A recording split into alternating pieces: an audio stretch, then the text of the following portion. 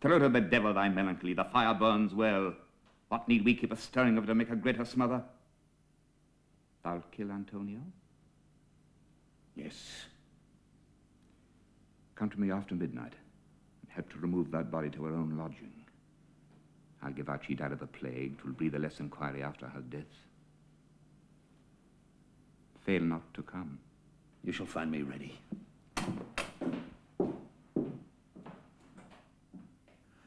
Well, good Antonio, I'll seek thee out, and all my care shall be to put thee into safety from the reach of these most cruel biters that have got some of thy blood already. Still methinks the Duchess haunts me. There, there. Tis nothing but my melancholy.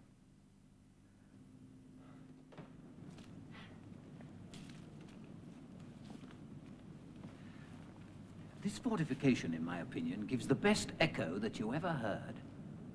So hollow and so dismal, and withal so plain in the distinction of our words, that many have supposed it is a spirit that answers.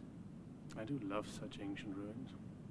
We never tread upon them but we set our foot upon some reverent history. All things have their end. Churches and cities which have diseases like to men must have like death that we have.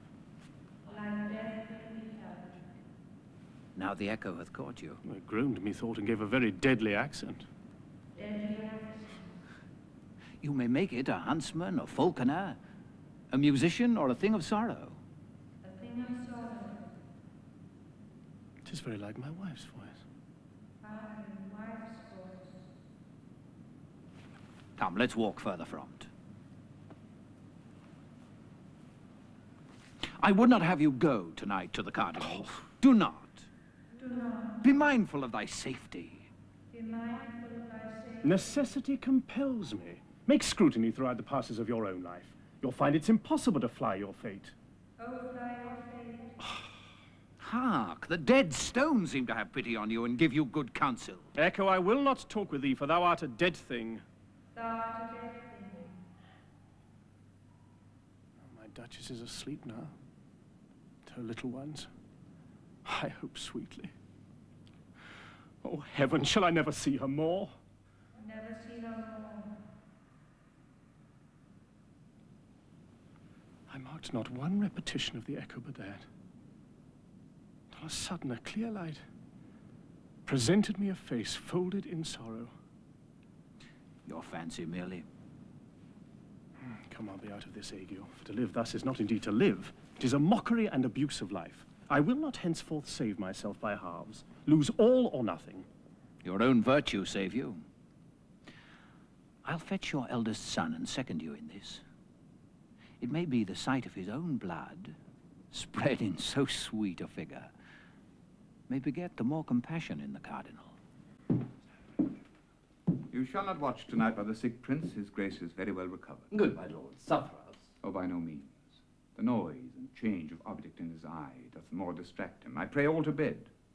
And though you hear him in his violent fit, do not rise, I entreat you. So, sir, we shall not. If your throat were cutting, I'd not come at you. Now I have protested against it. Why, I thank you.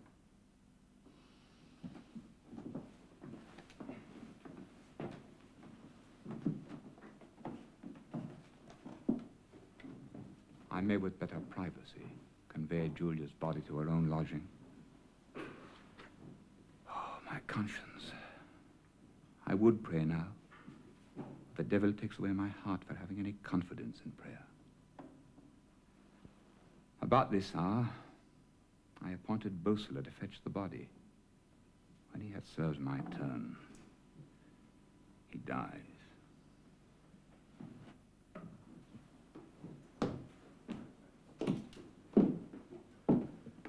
Could I take him at his prayers, there were hope of pardon. My sword. I'll not give thee so much leisure as to pray. Oh, I'm gone. i Send it along, suit a minute. What art thou? A most wretched thing that only have thy benefit in death to appear myself. Where are you, sir? Very near my home.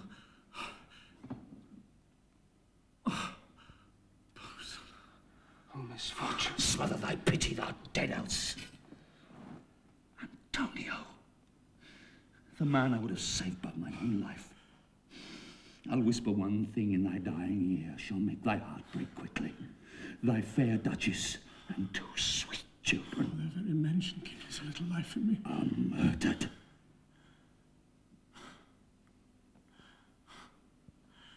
Some men have wished to die at the hearing of sad tidings. I shall do it in sadness. I would not now wish my wounds balms nor healed, for I have no use to put my life to. In all our quest of greatness, like wanton boys whose pastime is their care, we follow after bubbles blown in the air. Pleasure of life. What is it? Only the good hours of an ague, merely a preparative to rest, to endure vexation. I do not ask the process of my death. Only commend me to Delio. Break. and let my son fly the courts of princes.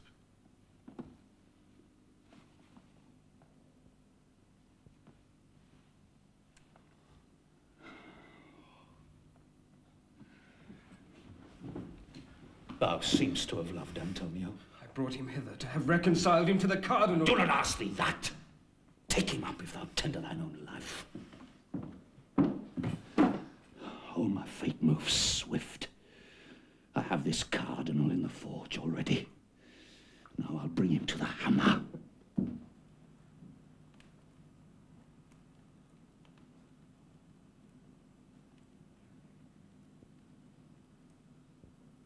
Methinks I see a thing armed with a rake that seems to strike at me.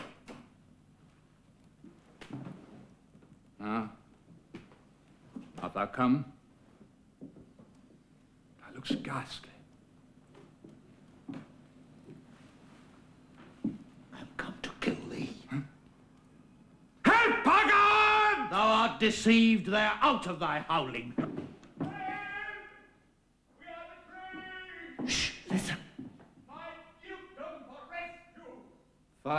Fire his counterfeiting. Why, it is not the cardinal. Yes, yes, tis he, but I'll see him hanged there. I'll go down to him.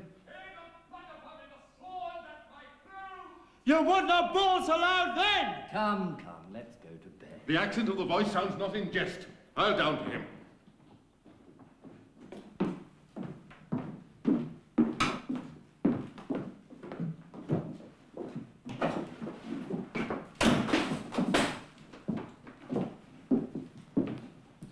There's for you first.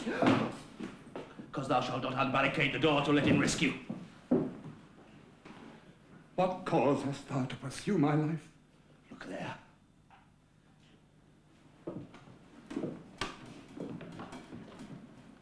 Antonio? Slain by my hand unwittingly. Pray on me, son.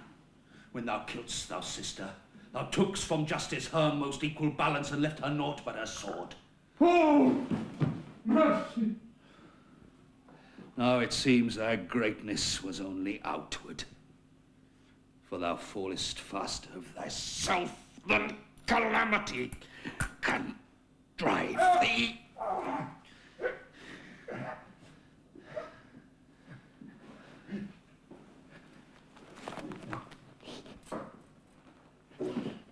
Shall I die like a leveret, without any resistance?